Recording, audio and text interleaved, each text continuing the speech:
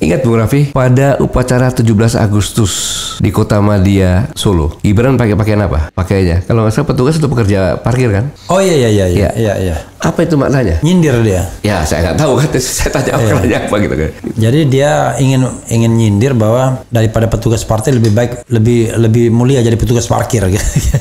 Kemudian berusaha memegang kepolisian dan berusaha memegang TNI. Paling tidak untuk dua hal ini kelihatan betul Kapolri dan Panglima TNI harus ada harus melalui eh, saringan ketat istana, preferensi istana yang main ya. Bukan hanya tingkat itu sekarang, Ai. ke bawah juga. Oke. Saya mendengar dengan pejabat setingkat bintang 4 bahwa sampai dengan Kapolda maupun Pangdam-Pangdam pun harus restu. Artinya jenderal ke atas. Khususnya untuk Kapolda dan Pangdam. Jadi selama ini nggak benar dong orang mengatakan kalau Pak Jokowi itu boneka. Dia dia monster yang sesungguhnya. Dalam tanda kutip ya. Ya bonekanya tidak mungkin bonekanya Luhut.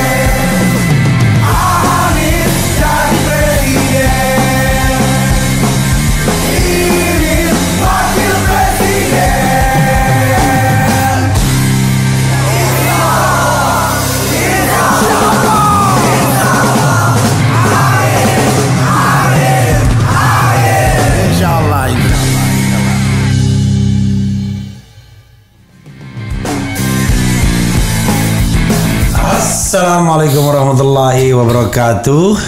Sobat RH sekalian Jumpa lagi di channel yang keren ini. Keren.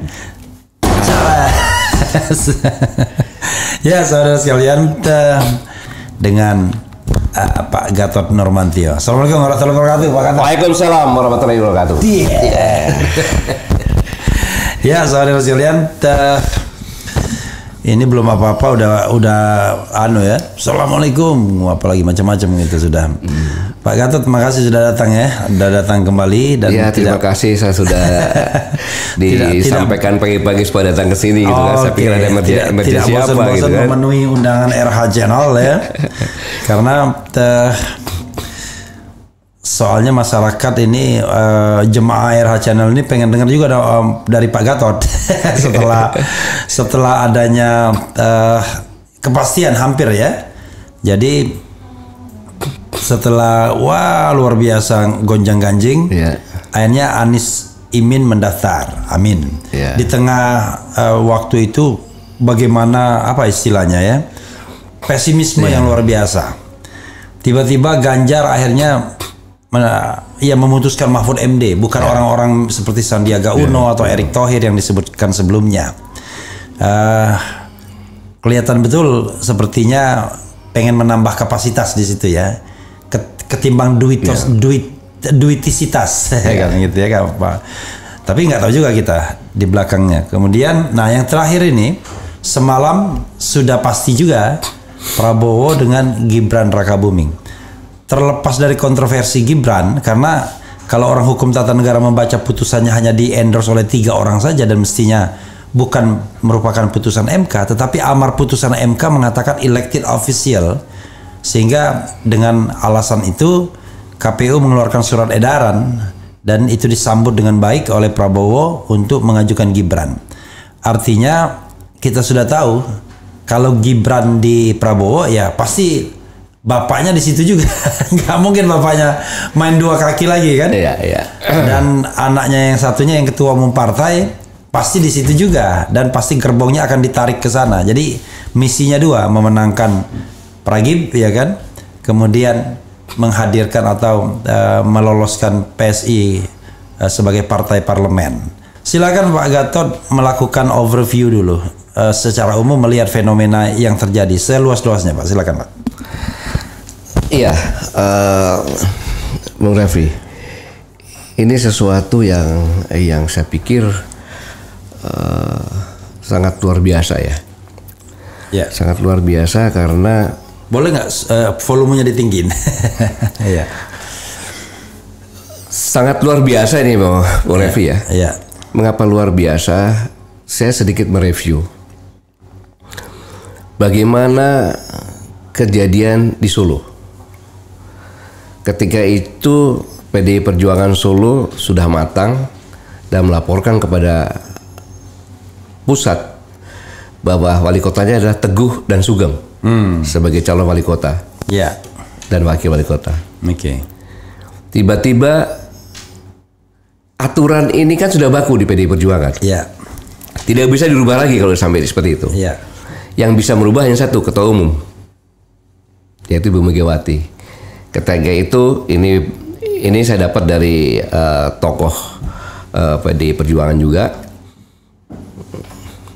Pak Jokowi datangi Ibu Mega dan mau minta supaya Gibran jadi wali kota. Karena Bu Mega sayangnya sama Jokowi, yang sudah protes pun dibatalkan Oke. gitu. Ini maksud saya hal yang sama juga dilakukan oleh Pak Jokowi di Medan. Bobi, Iya. gitu kan. Dari kondisi seperti ini, PDI itu bisa diacak-acak Oke. dengan dengan seorang petugas partai lah katakan Iya. gitu. Nah, dari kondisi seperti ini timbullah pemikiran siapa pun juga yang dekat di sana pikiran bahwa sesuatu tuh bisa dirubah Iya. asalkan yang merubah itu punya legalitas Hmm. kayak gitu. sama juga dengan kejadian hari ini. Hmm. Kejadian hari ini. Kan sebenarnya yang pertama kali adalah Jokowi lingkarannya me inisiatif untuk tiga periode. Ya. Ketua partai sudah aksi, termasuk Caimin juga udah aksi tuh. Iya iya iya. ya, kemudian Oke. Erlangga juga sudah bahkan ketua DPD Laya Mataliti, Hmm. Bahlil, ketua MPR Mas sudah Bambang Susatyo, Ya. kan gitu. Tetapi untung ada Ibu Mega Hmm. yang mengatakan tidak bisa. Konstitusi menyatakan seperti itu gitu. Hmm. Nah, dari itulah maka muncul apa yang harus dilakukan kan gitu. Hmm. Dan keputusan Mahkamah Konstitusi ini kalau kita lihat dilakukan tanggal 19 Oktober itu menunggu kekuatan penuh. Itu Bung Raffi. Iya. Ketika Demokrat bergabung maka SBY aja dukung kok pasti. Oke. Mantan presiden kan gitu. Ketua-ketua partai besar juga mendukung ahli hukum tata negara Iya. kan yang ada di situ Hmm. Bu, eh, Profesor Yusil Iya. Isa Mahendra ada di situ mendukung Iya. maka barulah berani memutuskan yang menarik Bung Refri Iya. ini kan yang mengajukan kan yang terakhir Oke. kalau nggak salah bulan Agustus dia ajukan Hmm. Sendirian Iya. kan gitu walaupun semuanya sudah sudah melanggar pernah mengajukan dibatalkan buat tiba-tiba mengajukan lagi kan gitu Iya. Iya. Hmm, Kemudian juga Mahkamah Konstitusi sudah menyatakan bahwa ini adalah bukan kewenangan Mahkamah Konstitusi, Iya. kan gitu. Tetapi pembuat undang-undang itu DPR kan gitu, Iya. dan Presiden tentunya gitu. Iya. Tapi tiba-tiba tanpa legal standing dikasih lah itu Iya. terhormat karena ada klausul tambahan, yaitu berpengalaman atau pernah atau sedang menjabat sebagai kepala daerah yang dipilih langsung kan gitu. Iya. Nah, dari sini Bung Raffi belum puas. Hmm. Belum puas. Setelah diputuskan itu, walaupun melanggar beberapa etika moral dan sebagainya, Bung Raffi lebih tahu lah mungkin kan. Iya. Iya. Belum puas. Orang bertanya-tanya, ini Prabowo Subianto, kan gitu. Letnan Jenderal Purnawirawan TNI Prabowo Subianto, mantan Danjen Kopassus, mantan Pangkostrat, Itu tapi memang ini mohon maaf Pak, ini pertanyaan bodoh ya. Itu memang ini kan Pak, Pak Prabowo itu kan diberhentikan ya waktu dulu. Iya. Itu masih masih berhak menyandang uh, purnawirawannya ya. ya? Masih berhak. Nggak ini ini pertanyaan bodoh saya. Iya, pertanyaan bodoh. Cuma kan sementara, sementara ini kan, Ya. sementara ini walaupun diberhentikan, Ya. tapi masih diperlakukan seperti itu. Oh, Oke oke oke. Jadi, Oke. nah, yang saya sampaikan bahwa Pak Prabowo ini mantan Danjen Kopassus, mantan Pangkostrat. Iya. Orang berpikir betapa dangkalnya strateginya, seolah tidak tahu strategi. Oh ini gawat nih. Eh silakan Pak. Iya kan gitu. Iya. Tetapi kalau saya jadi Prabowo pun, Iya. saya akan mengambil keputusan yang sama. Mengapa? M- Menjadikan Gibran sebagai wapres. Mengapa? Iya. Mengapa? Iya. Karena Pak Prabowo ini kan sudah merencanakan saya yakin sejak bergabung dengan sejak kalah kemudian bergabung dengan Jokowi punya rencana untuk seperti sekarang ini. Iya. Di ujung ya kan secara naluri saya yakin beliau tidak mau. Iya. Apalagi kondisi terkini. Iya. Tetapi apa? Ketua Mahkamah Konstitusi pernah menyampaikan, Iya. ya kan? Masih menunggu keputusan Mahkamah Konstitusi. Ada yang digugat mengenai batas usia minimum Iya. dan masuk lagi gugatan yang terkait dengan batas maksimal. Maksimum. Iya, batas maks- Maksimum. maksimum. Iya. Ini umpamanya kalau nanti MK memutuskan bahwa untuk menjadi presiden atau wakil presiden batas maksimalnya 70 tahun berarti akan ada capres yang gagal. Iya. Ya. Apa maknanya? Maknanya adalah ambil Gibran. Sang paman mengancam Ah. Prabowo. Iya. Kan gitu. Iya. Mengancam Prabowo gitu kan. Iya. Lu bisa juga nggak jadi kan gitu. Iya. Makanya kalau lihat kemarin sore pada saat deklarasi kan gitu Iya. kan berpacu dengan waktu itu. Maka sore-sore walaupun tanpa Gibran Hmm. dideklarasikan itu. Hmm. Gitu. Ini ancaman jangan main-main. Hmm. Kan gitu. Dia nggak ngangkat bisa berubah sekarang ini. Ya. Kan gitu. Karena Mahkamah Konstitusi apa pun yang diputuskan adalah final. Hmm. Semau mau dia aja kan gitu. Iya. Seperti yang sekarang ini kalau kita kupas tentang masalah etika moral semuanya kan dilanggar. Dengan melihat sekarang ini begitu diketop nggak sampai satu hari jutaan kan yang berkomentar. Mengecam semuanya kan gitu. Iya. Nah, inilah yang yang kondisi yang sekarang ini. Ya, tapi kalau jadi mendaftar, bulinya ini bukan ke Mahkamah Konstitusi lagi. Oke. Semua orang bulinya ke arah Jokowi, Oke. bukan dalam negeri luar negeri juga. Gitu. Bagaimana? Jokowi pribadi atau Jokowi sekeluarga? Terutama Jokowinya ya. Ya, sekarang begini. Satu orang yang nama Pak Jokowi ini, dia bisa memporak pandakan PDI Perjuangan di Solo dan di, di Medan. Iya. Sekarang di Jakarta memporak-porandakan negara ini. Hmm. Kan gitu. Memporak-porandakan negara ini. Kan gitu. Dengan Oke. cara seperti ini. Gitu loh. Menarik Ini. nih memporak-porandakan Solo sudah, Medan sudah, dan sekarang negara ini. Di Jakarta negara ini. Ah, iya, iya. Mungkin kan. bukan karena ini bukan pemilihan eh, gubernur DKI. Iya, kan gitu. Oke. Mengapa demikian? Ya kita kan melihat apa yang dikatakan Pak Yusuf Kala. Kalau terpilih dilantik sebagai presiden wakil presiden, terus ada berhalangan tetap Pak Prabowo. Ini kata JK kan gitu. Dan itu benar. Bayangkan apa yang terjadi. Padahal Pak Jokowi sendiri pernah bicara dalam satu event di mana di ya apa eh,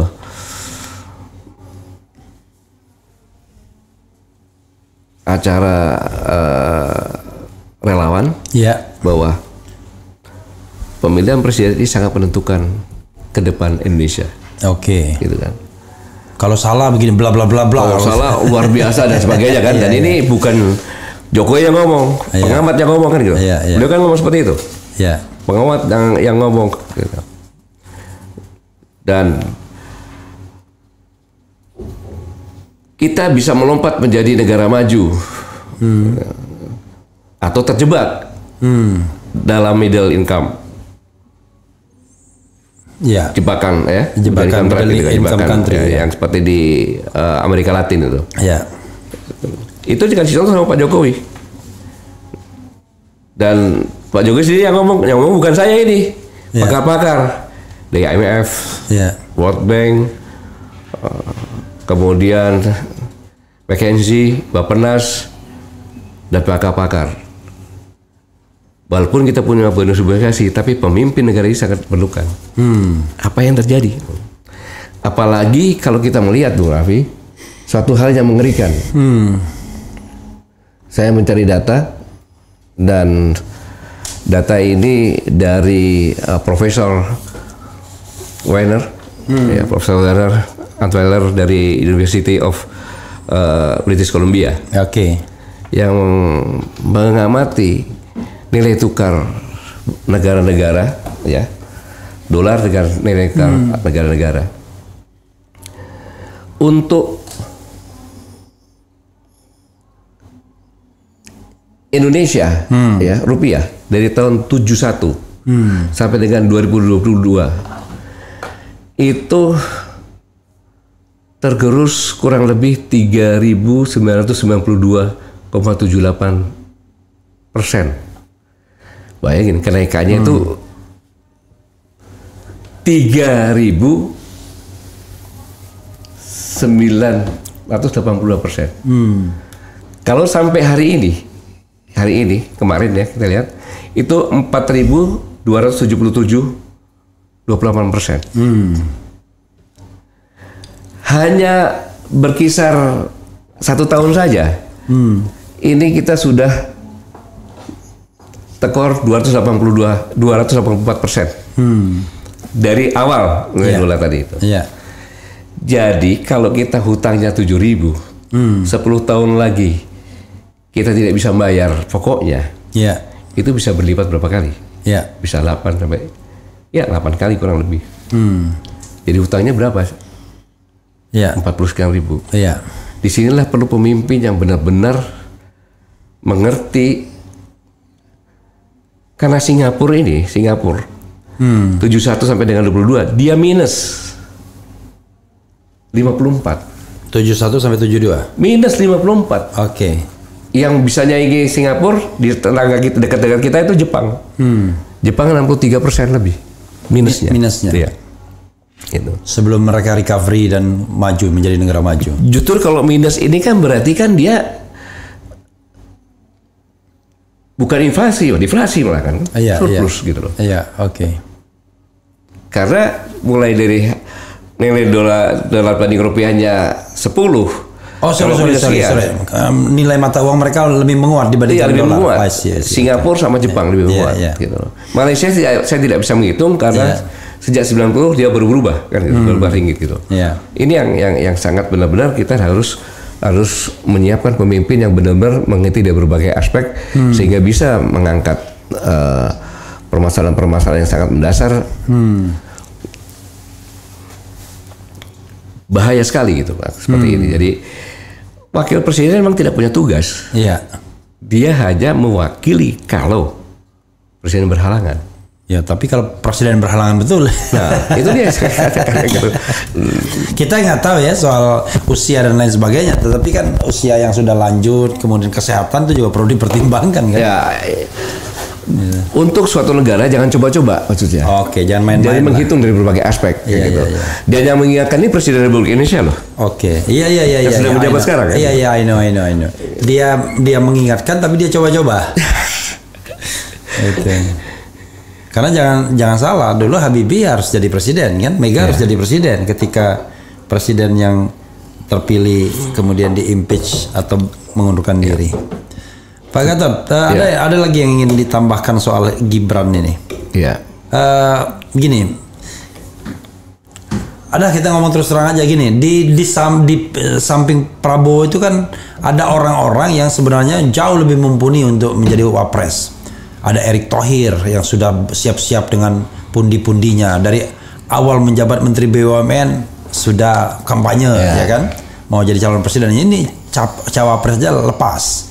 Padahal Jokowi sendiri memberikan luar biasa panggung ke dia kan? Terakhir Menko Marinvest dia yang ad interimnya ketika Luhut tidak bisa. Ada Yusril Iza Mahendra yang selevel dengan Mahfud MD ahli hukum tata negara dan usianya juga kurang lebih sama. Ada tiga orang yang kurang lebih sama kan? Pak Jimli Yusril dengan Pak Mahfud. Kemudian yang ketiga ada Zulkifli Hasan yang sudah menjabat semua Ya. ke- eh, eksekutif legislatif dan bahkan Erlangga lincah. juga, ya. kan? Lincah orangnya ketua umum partai politik.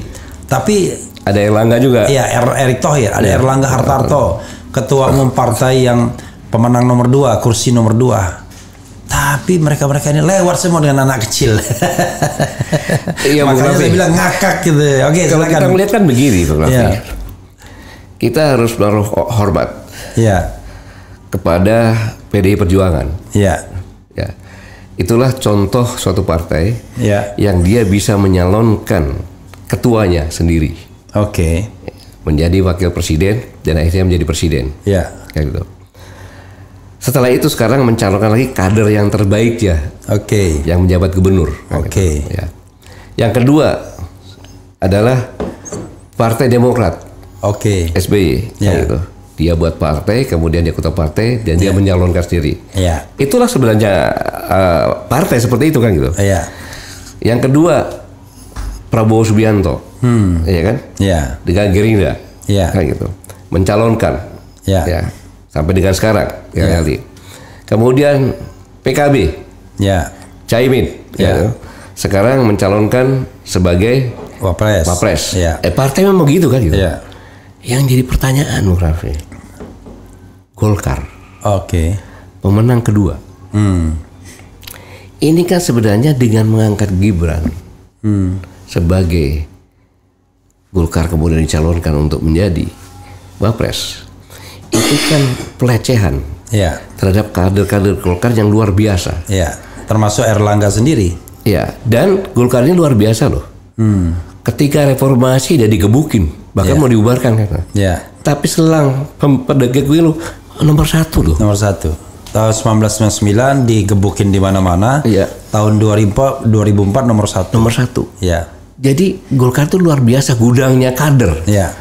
Karena mereka menerapkan. Contohnya saja, sekjennya, Ya.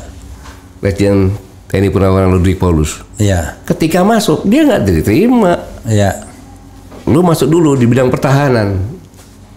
Gitu. Setelah masuk di bidang pertahanan, tahun kedua atau ketiga dia masuk ke eh, PLH Ketua Golkar Lampung. Baru jadi sekjen. Kan gitu. Ini saya tidak tidak tidak mengecilkan generasi muda, tidak mengecilkan Gibran ya. Ya.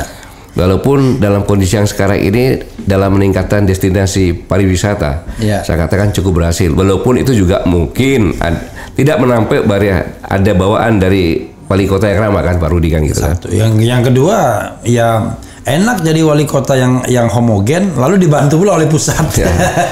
Proyek-proyek pusat kan banyak di sana. Ya, ya. Kemudian pada saat weekend kemarin Airbus Ya. Garuda menerbangkan Airbus untuk untuk kunjungan untuk eh, Jakarta Solo itu. Ya. Itu kebetulan saya di sana saya amati ada keberhasilan itu. Tapi kan Ya. dalam sektor seperti itu kan itu. Sedangkan Ya siapa pun bisa pak kalau jadi wali kota tapi kemudian bapaknya presiden ya kan orang takut semua. Ya, maksudnya- Lalu di, di tempat di, di daerah yang homogen pula gitu. Tapi kan itu kan dia pandai mempermanfaatkan bapaknya itu kan Oke, katanya iya, gitu, iya. kan, bisa juga. Jadi nah tetapi untuk negara ini 270 sebenarnya lagi 280 juta. Masa presiden nanti waktu pers bilang kalau dia jadi presiden Iya. nanti tunggu bapak dulu nggak mungkin kan? Ini nasib loh. Iya. Nasib rakyat Indonesia loh ini yang itu yang di- menjadi menjadi kekhawatiran kita semuanya gitu. Ya, eh, oke lah ya. Kalau kita eh, hitung-hitungan, Pak ya. Tapi eh, penegasan dulu lah ya. Menurut Pak, tadi kan ada pe- pernyataan dari Pak Gatot yang seolah-olah anu apa tidak sinkron. Eh, Pak Prabowo blunder memilih Gibran. Iya. Tapi di sisi lain, kalau saya jadi Pak Prabowo, saya pilih Gibran. Ini maksudnya apa, Pak? Gini loh, saya katakan tadi kan, Iya. Pak Prabowo itu nggak ada kembali, nggak ada jalan kembali. Oke. Karena kan diancam sama Ketua Mahkamah Konstitusi. I see, I Dia mengatakan Iya. masih ada loh Iya. satu lagi yang harus saya putuskan hari ini. Ya. Kalau 70 tahun diterima maksimal 70 tahun, masuk ke Prabowo. Kan Oke, bisa. sekarang kita kita tanya, kalau hari ini Mahkamah Konstitusi menolak permohonan itu kan masih ada dua hari lagi untuk untuk untuk cheating. Ah, kalau memang benar-benar, Ya. ya benar-benar Pak Prabowo ini, Hmm. ya kan benar-benar tahu strategi, Oke. ya kan kemudian tahu dampaknya. Ya. orang akan memaki-maki semuanya Hmm. kan ya kan pengamat pengamat politik pun menyampaikan kan Hmm. bahwa Gibran dengan bergabung Prabowo dia tidak meningkatkan tapi tidak menurunkan Ya. dia katakan baik baiknya karena apa tidak meningkatkan kredibilitas Prabowo tidak menurunkan kredibilitas Prabowo Ya. nah sekarang dengan kondisi sekarang pasti kan menurunkan Ya. Kan gitu nah dua hari ini ini hari yang sangat menentukan Ya. Iya kan? Tetapi permasalahannya bagaimana Golkar bos? Hmm. Bagaimana PAN bos? Oke. Tapi cukup Gerindra sama Demokrat cukup. Iya. Ngapain takut gitu loh. Ya. Dan itu akan berbalik. Kekuatan sebenarnya baru akan naik gitu. Hmm. Kalau memilih bukan bukan Gibran saat- Tapi yang jadi masalah begini. Kan orang lain mengatakan berharap poros keempat sebenarnya. Iya. Dan kuncinya di Golkar. Iya. Kalau Golkar mau jadi calon presiden, maka gampang sekali. Yaitu dia cukup pergi dan bawa satu partai. Entah itu Demokrat, entah itu PAN. Pasti Demokrat mau, PAN mau. Demokrat berarti AHY. Masalahnya bukan mau atau tidak mau, berani apa tidak gitu. Ya itulah masalahnya. Saya ingin sampai ke sana. Iya. Jadi kemudian PAN pasti mau kan eh, dengan Erick Thohirnya. Jadi Iya. dapat cuma mereka kan sudah diancam dari awal semuanya itu ya kan. Ya Erick Thohir ya Zulkifli Hasan ya ini yang nggak nggak terancam cuma SBY sama AHY tapi nggak bisa sendirian dia. gitu. Bung Raffi ya yang jadi pertanyaan. Hmm. Saudara Erlangga Hartanto itu apa jasanya dalam pembentukan Golkar? Iya. Ada nggak jasanya? Bapaknya yang mungkin sedikit ada sedikit Saya ya. tanya Pak Hartanto kan itu. Iya. Ada nggak sampai membesarkan Golkar? Ya dia kebetulan dibesarkan oleh Presiden Jokowi. Karena dia menjadi ketua umum ketika masa pemerintahan Presiden Jokowi. Iya. Dan kalau tidak didukung istana, mungkin nggak akan terpilih dia. Nah, Kan itu ini mohon maaf. yang Orang saya mengatakan maksudkan operasinya luhur ya, semua itu. Yang saya maksudkan Bu Ya. Raffi, ya kan. Masa dia tega menghancurkan Golkar? I see. Kan gitu. Iya. Dengan kemarin saya mengamati wajah demi wajah Iya, nggak happy itu. ketua Golkar kan gitu. Senyumnya kan senyum terpaksa. Kayak gitu. Benar matinya. Kan, Kita membesarkan Golkar setengah mati berdarah-darah. Dan saya yakin Golkar akan kehilangan konstituennya. Iya. Marah mereka semuanya. Kan kasihan kader-kader yang setengah mati berkampanye jadi DPR pendukungnya kabur semuanya. Ya. Gitu. Dan harusnya apa pun yang terjadi harusnya gunakan sistem partai yang sebenarnya. Bukan cara seperti itu. Maksud Pak Gatot walaupun Ya sekarang kan sudah kita lawan saja lah. Berkorban daripada partai Golkar akan hancur. Toh Caimin melawan juga. Iya. artinya artinya sekali-sekali melawan ya nggak apa-apa. Apalagi sudah menjelang pem- pe- pendaftaran gini Iya. kan. Udah nanti pas pendaftaran tiba-tiba Erlangga berpasangan dengan AHY. Kemudian apa pun Prabowo dengan tetapi saya siapa gitu? saya katakan kalau toh nanti dia dipidanakan ya, orang mengatakan dia pahlawan ya, kan Hmm. dan proses pidananya akan dikutuk sama orang ya. mengapa harus takut Gitu. karena harapan Golkar ini kan partai nasional gitu loh Hmm. Yang menjaga stabilitas ini selama ini kok bisa seperti ini gitu loh Jadi Pak Gatot pengennya empat pasangan gitu. Paling bagus begitu. apa pun Prabowo sama siapa Gibran. ya Nah, tapi harus didukung oleh partai. Kalau nggak didukung oleh partai nggak bisa nyalon. Ya, saya bukan pengennya ya. Saya, saya bukan pengen, tetapi selamatkanlah Golkar, Oke. gitu loh. Yang Ya. menyelamatkan Golkar itu artinya mengajukan nasional juga kan, gitu. menjadikan calon sendiri kan? Ya, atau tidak calon sendiri kan gitu. Calon, tapi calon yang berkompeten gitu loh. Iya, iya, iya. Gitu loh. Kan dia banyak kader-kadernya juga. Tapi saya begini, Pak. Eh, kan kita tahu. Tapi sebentar, kok Ya. saya jadi pengamat politik di bagian kita? ya enggak. Kan memang menjadi pengamat politik di sini kan. Kan kita tidak bicara tentang hankam, kita bicara tentang politik gimana. nah, dan nggak bisa juga saya bilang bapak tim sukses kan, tim sukses juga enggak. Jadi ya pengamat politik memang jadi. Jadi Pak, Pak Gatot, Iya. pertanyaannya adalah ada dua nih, mohon maaf ya. Iya.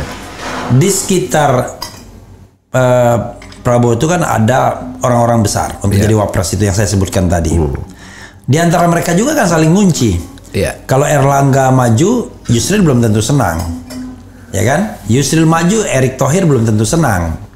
Ya, Erick Thohir maju, Erlangga Hartarto belum tentu senang. Ya sudah, anak kecil aja, bocil aja yang maju. Udah, yang paling penting tadi azas no freelance tidak ada makan siang yang gratis itu. Karena saya mendengar gitu. Wah, kenapa deklarasinya tertunda-tunda? Karena deltanya belum jelas katanya Del. Saya nggak ngerti delta itu apa ya. Ada teman saya tuh bilang tuh, wah delta, del. Misalnya ada bilang begini, eh, ada teman gini, nggak ngerti saya apa maksud dia. Bilang begini, deklarasi hari ini mundur, masih nego, kurang 5 delta. Nggak maksudnya apa ini? apa pun itu, gitu? Bang, apa pun Bang Iya. Raffi itu, Iya. bagi menurut saya ya, asas tujuan partai yang besar itu itu sebagai sampingan maksudnya. Oke. Gitu. Tapi jangan menghilangkan marwah dari partai itu, apalagi menghadirkan para kader-kader partai. Ya paling tidak ngotot ya itu ya. Maksudnya. Iya, gitu loh. Kalau tidak dipenuhi ya bikin poros sendiri kan gitu. Iya, kenapa? Bisa kok, Bisa. gitu. Bisa kok mengimpor sendiri gitu loh. Kalau saya gini, kalau ditolak juga ya gabung ke Amin aja. Jadi maksud saya apa? Saya sedih gitu loh melihat melihat pada saat kemarin di rakernas kan itu seperti itu saya lihat kasihan gitu kan apa tertawanya nggak tahu mudah-mudahan saya salah itu kan Iya. Eh, tapi menurut pandangan saya se- seperti itu gitu partai yang begitu besar, orang-orang top, ada ketua MPR di situ kan gitu. Wah macam-macam lah. Cuman begini Pak, memang eh, kan Pak Jokowi ini kan kalau dalam istilah politiknya kan lemdak office. Jadi udah kantor bebek lah ya kan, bebek lumpuh gitu kan. Lemdak itu bebek lumpuh, office-nya kantor. Jadi maksudnya dia tidak punya pengaruh lagi karena dia sudah mau surut. Ibarat matahari dia tinggal tunggu tenggelamnya. Tapi teori itu kok nggak terjadi kepada Pak Jokowi. Justru partai-partai politik pada takut dan yang kedua adalah paling tidak dua capres itu minta restu dia. Kita tahu Prabowo dan eh, PDIP kan berebut dukungan Pak Jokowi. Bahkan kalau kita lihat misi-misinya Mahfud Ganjar, Ganjar Mahfud, oh sama terbalik. Mungkin dia menyesal me- menyampaikan misi-misi itu karena misi-misinya itu memperkuat semua. Seolah-olah sudah semua udah baik tinggal memperkuat, memperkuat, memperkuat gitu. Bung Raffi ini adalah proses yang panjang. Ya. ya proses yang panjang dan eh, terorganisasi direncanakan dengan sistematis berkelanjutan. Yang pertama adalah Pak Jokowi ini yang tadinya adalah seorang presiden yang tidak punya kekuatan apa pun juga kecuali kekuatan rakyat Ya. tidak memegang kepolisian Republik Indonesia, tidak memegang TNI, tidak memegang DPR, tidak memegang kejaksaan. Kan gitu. Pada saat jadi presiden yang merencanakan menentukan menteri-menterinya kan bukan beliau sendiri. Ya. Ya karena beliau orang baru kan gitu kan. Nah, dari situlah muncul kesadaran. Bagaimana memegang DPR. Mulailah digarap partai-partai Oke.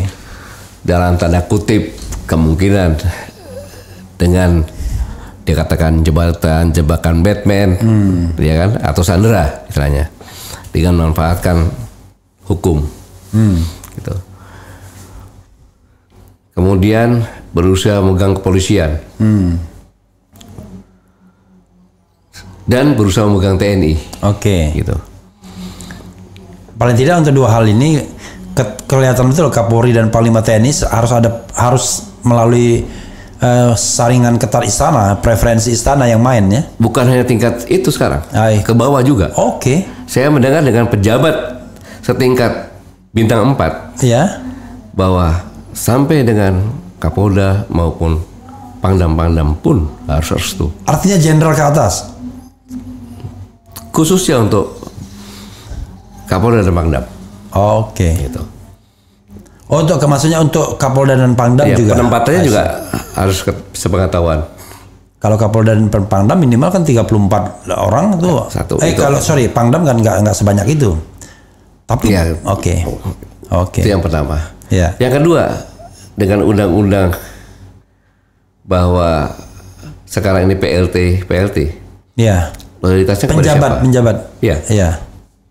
Loyalitasnya ke 60% lebih kan? Iya. Mereka yang tunjuk kira-kira gitu. Mereka yang tunjuk. Oke. gitu. Terus yang lebih penting lagi ya kan KPK Hmm. yang tadinya organisasi di luar struktur kan gitu kan. Hmm. Sekarang kan sudah masuk dalam eksekutif. Iya. Kemudian yang paling menentukan lagi adalah Mahkamah Konstitusi. Hmm. Gitu. Oke. Dan ini suatu pelanggaran etika yang sangat luar biasa. Kan gitu. Hmm. Sangat luar biasa.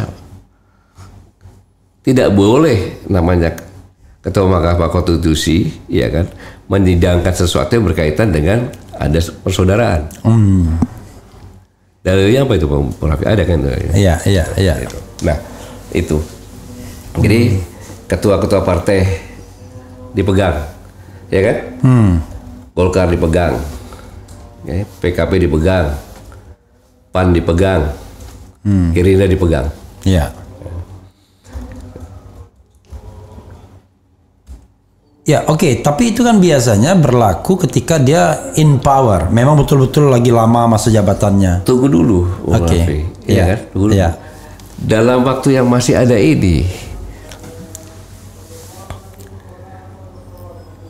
Dia tinggal buka, dia tinggal nyuruh ke orang-orangnya dia semuanya. Ya. Nggak apa.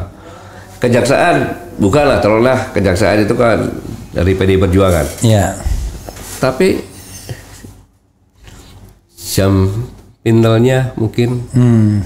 jam pisusnya mungkin, apa? Wakil Jaksa Agungnya mungkin. Ya.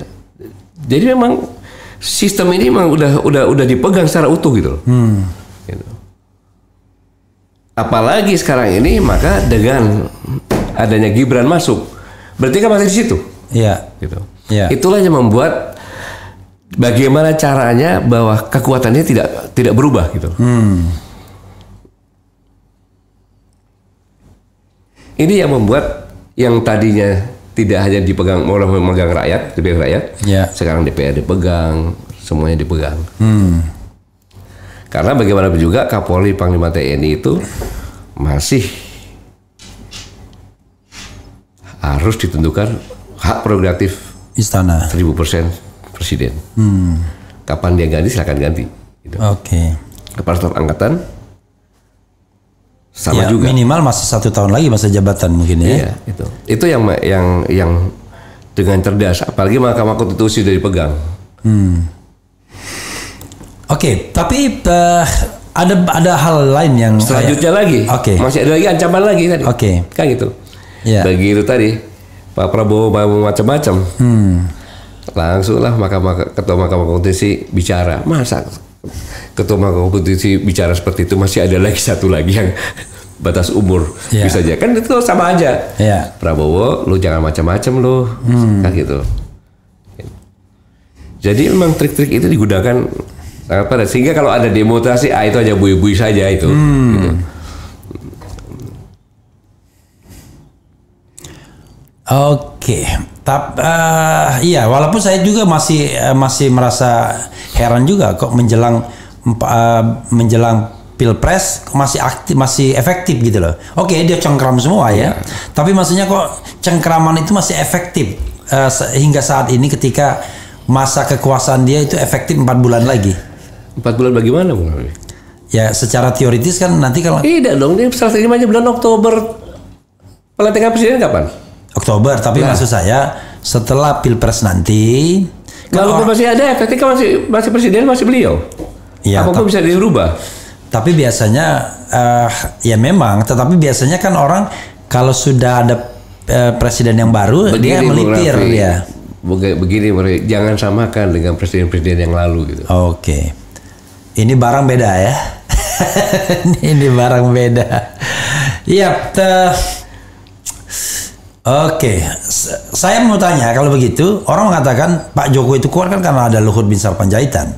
Rocky Gerung bahkan mengatakan ketiadaan Luhut itu kita tidak tahu ya bagaimana kondisi Luhut tapi sampai sekarang dia nggak bisa aktif lagi karena konon pecah pembuluh darah ya di otak dan itu sangat severe apa sangat luar biasa ya nggak bisa nggak bisa nggak bisa sembarangan tuh treatmentnya kalaupun eh, sehat kembali belum tentu seperti semula.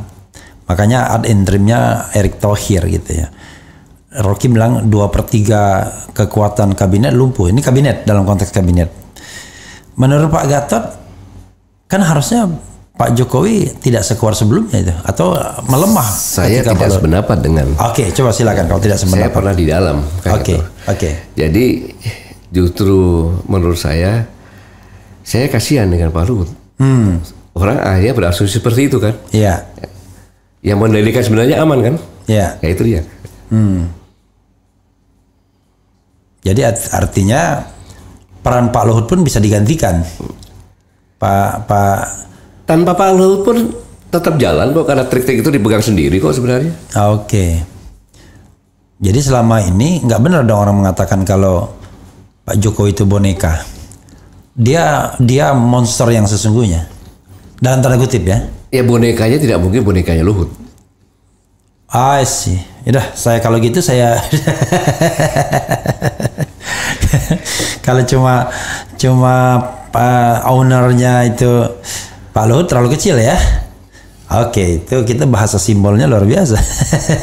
Oke, Pak Gatot, secara objektif Pak, eh, tanpa harus ngomong siapa yang unggul dulu ya, mungkin Pak Gatot sebagai orang intel, in- pernah intel pastinya, tentu Panglima TNI ahli strategi dan lain sebagainya, bisa nggak memetakan plus dan minus dari tiga pasangan ini?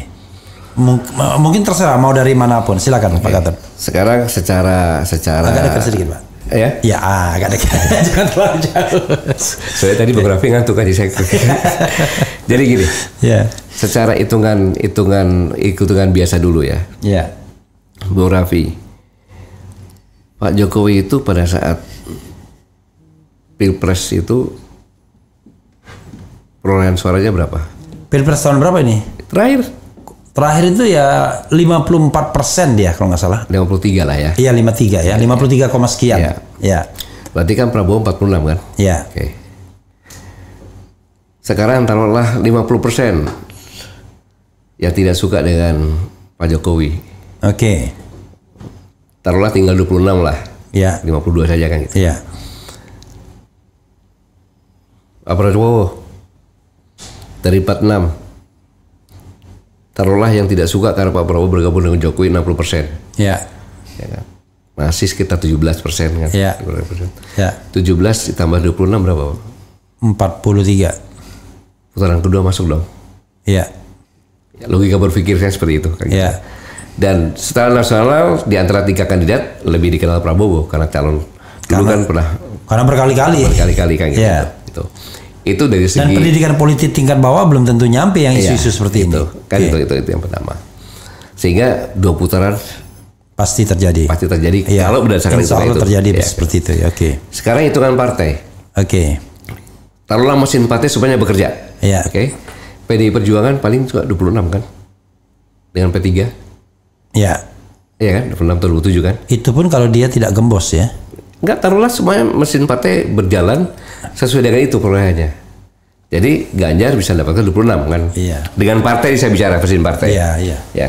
Ya cuma maksudnya eh, PDIP pada waktu itu kan karena ada faktor Jokowi juga sedikit kan, tapi ini Jokowi udah hilang nanti. Iya. Let- Let's say tetap dia. Ya, ya. taruhlah, taruhlah tetap seperti itu, Iya. cuma 26 maksud saya 26, gitu. iya. Ya. Kemudian Pak Anies. Ya. Ya. Pak Anies berapa itu? PKB, berapa Nasdem, berapa PKS? Lumayan juga itu. Kalau kalau Tidak jumlah kursi, 30. kalau jumlah kursi eh, PKB ke Tiga, tidak sampai 30 persen. 58 Sekarang gini aja, Nasdem berapa persen? yang jelas Nasdem 59 kursi. Berapa 58 kursi jadi 117 117 157 kursi. Itu lebih gede dari PDIP. Iya, Lebih gede tapi dari tidak sampai 30 persen. Ya, lebih gede dari PDIP. Karena PDIP kan eh, saya tahu jumlah kursinya 128 ditambah 19 ya. 128 tambah 19 cuma 140-an. Nah, sementara Amin itu 167. Jadi dari jumlah kursi itu masih banyakkan ini. Masih banyakkan apa? Masih banyakkan Amin dari jumlah kursi. Ya, saya punya datanya nih. Ya.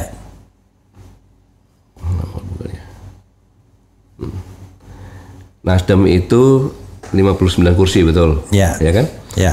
Kemudian eh, PKB, PKB 58. 58, Eh, PKS kemudian 50. PKS 50. 50. Ya.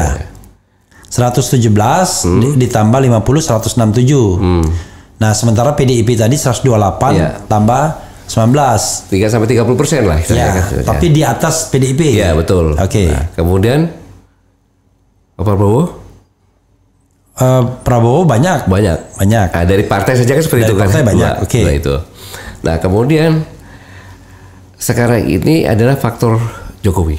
Oke. Pak Jokowi ini punya faktor sendiri. Oke. Saya hitung itu sekitar 20 persen. Oke. Apa 20 persen itu? Hmm. Satu pengikutnya fanatik Pak Jokowi. Ya. Yang kedua adalah fanatik dari BLT. Ya. Nggak boleh ditinggalkan itu. BLT itu bantuan langsung tunai ya. Iya, itu terasa memang. Jadi kalau dia itu. Dibikin miskin dulu, bikin sengsara, tiba-tiba ada duit. Nah, menjelang itu. pemilu jadi, kan. ya, jadi itu. Itu Jadi- gaya-gaya neolib ya, itu. ya. Tetapi tagline perubahan ini, ya kan, itu masuk di dalam relung pikiran rakyat yang ingin berubah. Iya. Itu. Tetapi pertanyaan sampaikah dia ke ujung-ujung desa? Ya. Di mana desa dikunci oleh TV-TV yang ada dan TVRI. Ya. Gitu loh. Gitu. Ini yang harus di, di, di- dilihat. Oke. Dilihat. Tetapi kalau saya lihat seperti ini, saya pikir masih berkisar antara 30-an semuanya itu. Oke, jadi sama sama sama sama ya. Ya, karena kenapa saya pikir 30-an? Jawa Tengah tidak mau tidak mungkin pasti pasti ini pasti Ganjar di atas 40%. Oke. Karena faktor PDI-nya. Ya, tetapi itu itu eh, lebih eh, lebih mundur karena dulu 70% Saya zaman Pak. pikir minimal ya, saya katakan Iya. minimal ini Iya. kan minimal Iya. karena semua kan bekerja juga, tetapi minimal dia mendapatkan lebih daripada daripada saya pastikan nih, Hmm. lebih dari Pak Anies, lebih dari Pak Prabowo. Iya. Karena faktor bukan Ganjarnya, Iya. faktor PDI-nya. Hmm. Gitu. Oke. Ya itu itu hitung-hitung menurut logika berpikir saya saja gitu. Oke. Saya Artinya akan terjadi dua putaran logika ya. ya logikanya dua putaran, logikanya dua putaran. Kalau itu berjalan secara objektif ya, Hmm. objektif. Oke. Dari dua putaran tersebut menurut Pak Gatot, kalau saya simpulkan hitung-hitungan tadi ya, Ya. berarti anu dong, eh, Amin Prabowo dong yang maju. Putaran kedua. Nah kalau putaran kedua ini kan kita bisa siapa pun juga. Ya. Tapi bagaimana putaran kedua ini siapa yang menang kan gitu? Ya, maksudnya yang masuk pada putaran kedua kan Amin Prabowo tadi kalau saya lihat ya. Kalau hitungan Pak Gatot. Kalau kondisi yang sekarang ini kan ya, kondisi Ya. sekarang ini. Tapi kan ini kan semuanya belum bekerja, film Oke. kampanye segala macamnya kan Oke. gitu. Kan gitu. Berarti kan ada trik-trik yang lainnya lagi Iya, yang oke. bisa juga gitu. Nah sekarang, let's say ya, menurut Pak Gatot bisa balik nggak ini Jokowi Mega? Artinya gini, ini kan kita bicara tentang pengaruh putaran kedua. Iya. Misal Iya. putaran keduanya yang ma- maju Amin Prabowo head to head. Kan dulu orang mengatakan, wah ini pendukung Mega pasti pilih Prabowo kan? Eh, nggak mau dia Amin. Tapi sekarang bisa jadi malah terbalik karena sudah jadi musuh bebuyutan ini. Ah, saya nggak tahu ah, skenario seperti apa kalau putaran kedua. Ya kalau putaran kedua seandainya Amin Prabowo, Ya. saya punya keyakinan Hah? komando Ibu Mega ke Amin. Kenapa? Karena udah udah patah arang dia. Dan sekarang kan begini Bung Raffi, Iya. coba coba diamati bener ya. Iya. Pada saat sudah matang, wali kota dan wakil wali kota Solo, Iya. ya kan. Terus Pak Jokowi ke Bu Mega karena Ibu Mega sayang dengan Jokowi. Iya. Ingat, karena sayang dengan Sofi, Oke. mengorbankan ketentuan yang dibuat sendiri, akhirnya mengalihkan kepada Gibran. Iya. Satu. Iya. Sama juga yang terjadi di Medan. Iya. Calon wali kotanya akhirnya loncat ke partai lain kan? Iya. Iya. Gitu. Kan gitu. Belum lagi bagaimana Jokowi dulu seperti apa diangkat oleh Ibu Mega kan itu. Itu kan itu. Bagaimana orang yang tadinya sayang kemudian dilempar begitu saja gitu kan. Dengan entengnya Kaisang masuk PSI Iya. mendukung ke sana. Iya. Ingat Bung Raffi, pada upacara 17 Agustus di Kota Madia, Solo, Hmm. Gibran pakai pakaian apa? Iya. Apa? Pakainya. Kalau nggak salah petugas itu pekerja parkir kan? Oh iya iya iya iya Iya. iya iya. Apa itu maknanya? Nyindir dia. Ya saya nggak tahu kan. Saya tanya Iya. maknanya apa gitu kan? Jadi dia ingin ingin anu, ingin nyindir bahwa daripada petugas partai lebih baik lebih lebih mulia jadi petugas parkir gitu. I don't know exactly apa mas mas. Dan itu pada saat upacara ya. proklamasi kemerdekaan loh. Iya. Kan gitu. Yang intinya sekarang ini semua dua gua pegang. Iya. Iya. Mau apa lo? Hmm. Gitu. Tentunya kemarahan ini tidak mudah diobatin kan gitu. Iya. Tapi kan saya tidak tahu. Ibu Mega kan seorang yang uh, negarawan lah kan. Hmm. Tidak tahu bagaimana nantinya saya saya, saya belum bisa belum bisa memastikan. Oke. Gitu. Saya nggak nggak bisa memastikan kalau pasti begini nggak bisa gitu kan. Iya, iya, Itu iya, kan hanya iya. perkiraan-perkiraan saya dan Iya. saya bukan pengamat politik kan. gitu. Iya iya. Jadi kalau saya saya saya ya wali wajar aja. Hmm. Baru belajar politik juga saya ini. Dan juga tidak berpengalaman dalam pemilu karena nggak pernah Ya, nyoblos. Anda pernah? Eh, pernah kemarin. Oh pernah nyoblos. Oh kemarin. Kemarin 2019 aja nyoblos. Tapi sebelumnya nggak pernah nyoblos. Nggak pernah nyoblos. Nggak pernah nyoblos ya. Pak Gatot ya. Iya. Oke, saya tidak mau me- menyudut-nyudutkan Pak Gatot untuk terus menerus ini karena bu- udah bilang bukan pengamat politik ya. Sudutkan saja nggak apa-apa. Oh, sudut saya nggak apa-apa ya. Oke. Karena itu biar disudutkan, biar penonton yang menyudutkan ya kan. Oke. Eh, saya bacakan beberapa hal yang barangkali Pak Gatot entah gimana cara menjawabnya itu terserah Pak Gatot. Ini eh, yang yang anu ya, yang yang relevan. Tolong ke- nah ini kan nah ini yang relevan. Militan ABW, tolong ketegasan Pak Gatot bagaimana terkait dukungan. Apakah benar Pak Gatot seperti podcast sebelumnya akan mendukung orang yang punya partai dan punya uang sendiri, artinya tidak dikendalikan oligarki alias wowo ya, tanda tanya.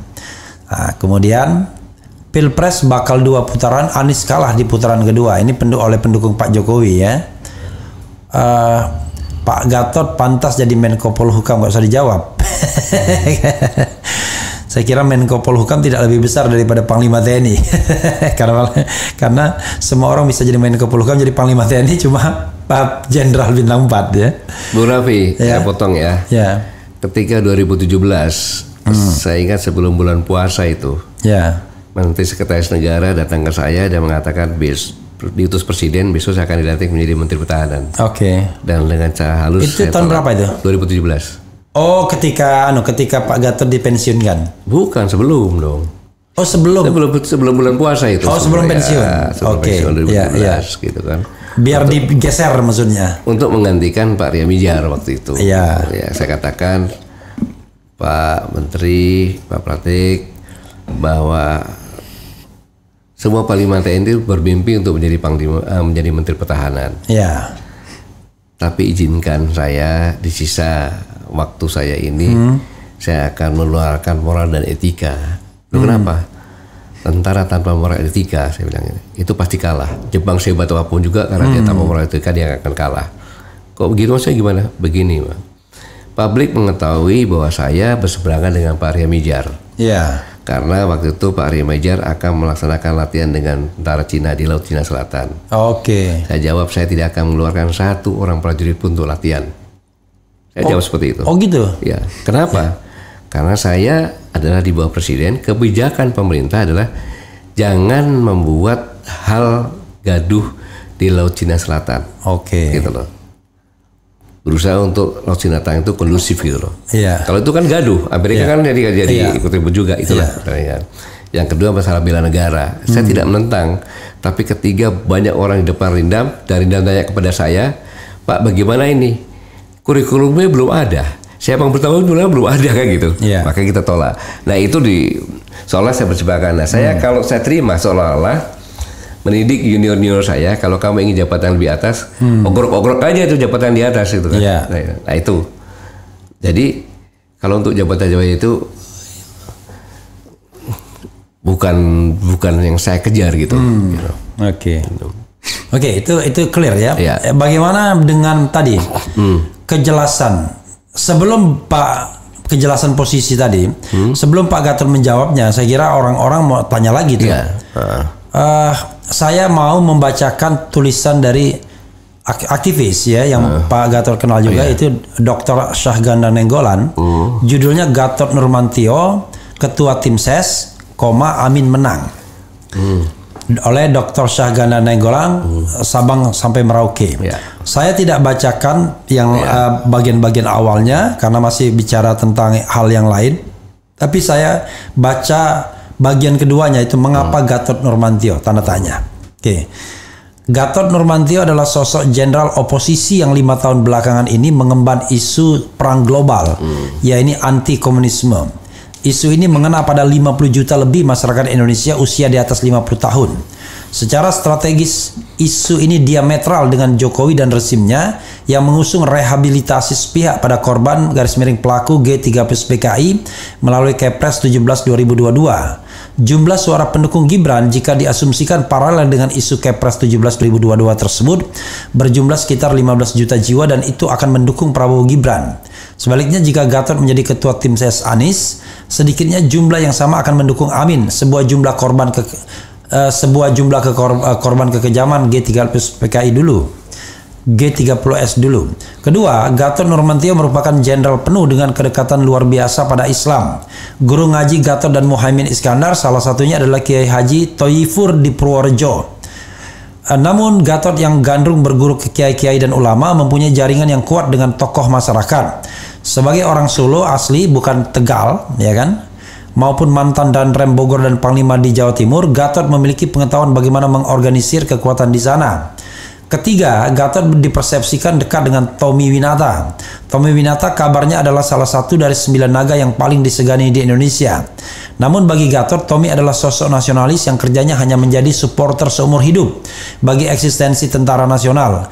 Gatot tidak pernah menjadi anak buah Tommy. Kepada saya, Gatot pernah mengatakan bahwa dia mengenal Tommy ketika Tommy masih naik sepeda motor dan antri untuk ketemu Jenderal Idris Sudrajat. Sekali lagi, Gatot bukan anak buah Tommy, bahkan Gatot mendukung ide negara di atas kekuatan dan kepentingan konglomerat. Sosok yang demikian kokoh pada Gatot Nurmantio adalah pilihan utama bagi Amin jika mau menang. Hal ini pun saya ungkap di publik karena beberapa hari lalu saya membaca di media Gatot bersedia mundur dari kami Koalisi Aksi Menyelamatkan Indonesia jika dilamar Amin sebagai tim ses. Tentu saja banyak kekhawatiran bahwa rezim akan memblokade Amin jika bergandingan dengan Gatot. Namun sebagai ahli strategi saya meyakini perang segitiga Capres-Cawapres bukan era lalu lagi. Sejak pendaftaran Capres-Cawapres ke KPU maka situasi berubah. Kekuatan rezim terbelah, fokus semua adalah masing-masing memenangkan calonnya. Demikian pemikiran saya ini, salam perubahan dari Danau Toba. Ini gara-gara kayaknya nulisnya sambil berenang ini. Oke, tadi ada Pak Gatot seolah-olah kok pro ke Prabowo juga tadi yang katanya harusnya begitu-begitu yang punya partai dan lain sebagainya. Silakan Pak Gatot menjawab sebanyak-banyaknya. Oke, Oke. saya tidak akan membantah apa pun. Silakan Oke. Pak. Terima kasih Ya. Bang Sagana Nenggolan atas tulisannya. Kemudian saya sampaikan saya tidak berpihak kepada Pak Prabowo. Hanya saya sampaikan bahwa Pak Prabowo itu kemarin itu di dalam tekanan yang sungguh luar biasa karena Ketua Mahkamah Konstitusi yang mengatakan masih ada satu lagi. Kalau 70 tahun itu diiakan maka ada salah satu calon presiden. Itu kan ancaman. Maka deklarasi kemarin sore itu untuk menunjukkan eh paman ini loh ponakanmu. Udah jadi pasangan saya kan begitu nah kemudian kalau tadi kan contoh-contoh partai saja gitu loh. Contoh-contoh partai yang partai itu kan sebenarnya yang ngajukan calon presiden ya dari kader-kader partai ya ketua partainya kan gitu logika berpikirnya gitu. Kemudian untuk masalah keberpihakan bahwa yang menentukan pemenangan itu bukan bukan apa eh, tim sukses ya. Yang pokok menentukan adalah sosok presiden dan wakil presiden tersebut makanya kan selama ini kan wakil presiden pun jadi jadi penentu juga begitu loh jadi saat ini saya ulangi saat ini saya belum menentukan saya ada di mana Oke. Bang Anies, sahabat saya sama-sama waktu di kabinet kan gitu. Kemudian Pak Prabowo senior saya, teman diskusi saya kayak gitu. Kemudian Pak Ganjar gubernur kampung saya kan gitu, saya di Solo kan gitu. Ya. Dan sahabat saya juga kan deket sama sama beliau. Sehingga saat ini biarlah saya sebagai pengamat kecil-kecilan yang mengamati saja dulu dan belum dan kata-kata saya akan keluar dari kami kalau dilamar kalimat yang sebenarnya adalah koalisi aksi menyelamatkan Indonesia itulah organisasi yang bukan politik praktis untuk ke DPR maupun mendukung salah satu presiden calon presiden. Anggota kami yang mendukung salah satu calon presiden silakan, tetapi yang dalam struktur presidium maupun eksekutif komite ya harus mundurkan diri. Contohnya saya, kalau saya akan mendukung salah satu calon sebagai tim, maka saya harus mengundurkan diri sebagai presidium. Itu yang sebenarnya begitu. Jadi begitu Bang Raffi. Jadi dalam kondisi seperti ini saya mengamati dulu saja Bang Raffi. Oke. Ah, tapi saya mau sudutkan diri juga Pak Gatot. Sudutkan saja. Dulu Pak Gatot bilang, kalau sudah jelas, ya kan, pendaftaran, ini udah jelas. Kan Pak Gatot bilang, kalau sudah pendaftaran dan tidak akan ada berubah lagi, kan akan menentukan sikap. ya, sikap saya kan saya tentukan sikap saya masih nonton kan boleh.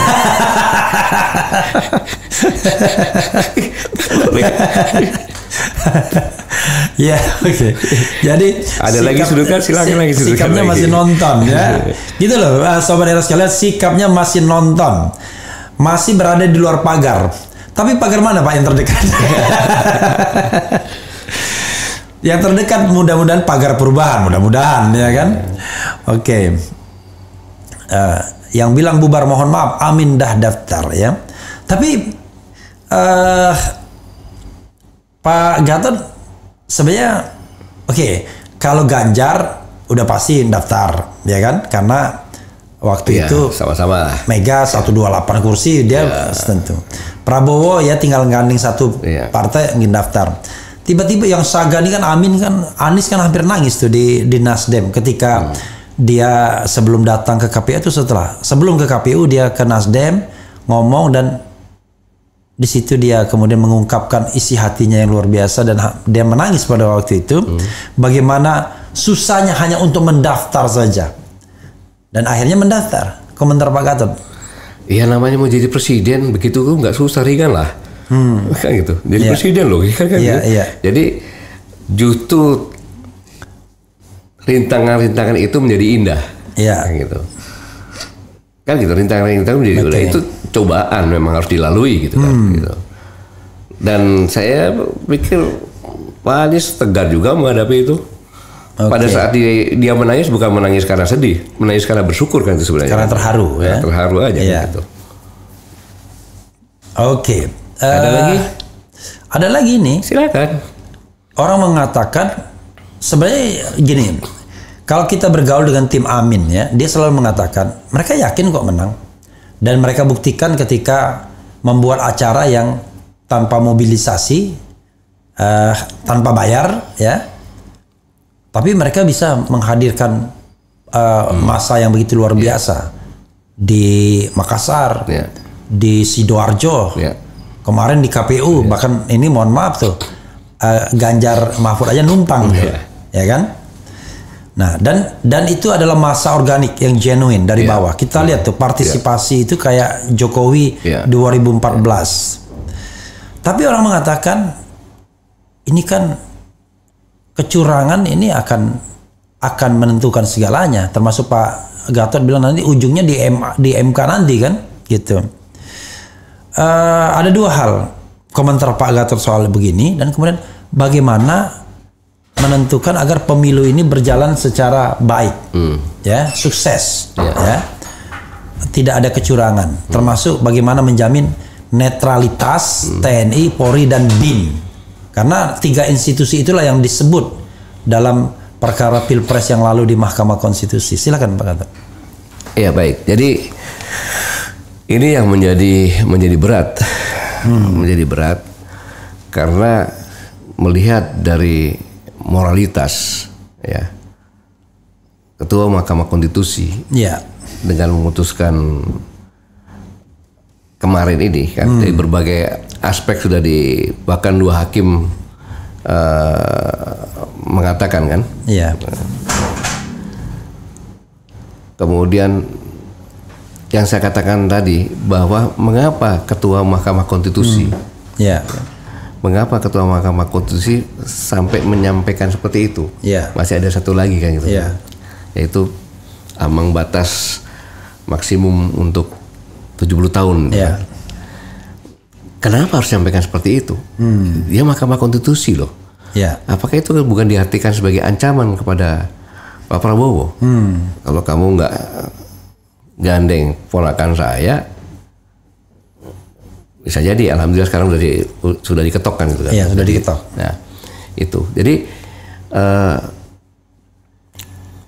peran Mahkamah Konstitusi itu harus diselesaikan sebelum sebelum berlanjut. ya Entah dibubarkan, entah hakim yang mengundurkan diri atau apa.